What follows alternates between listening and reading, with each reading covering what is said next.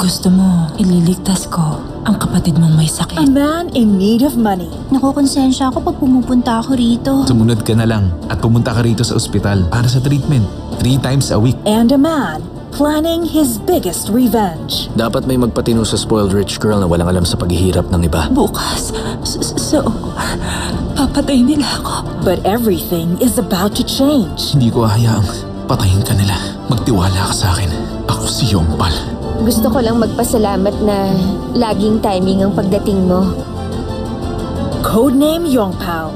And Behind Your Smile. Back to back premieres June 27, Monday, 2 p.m. on GTV.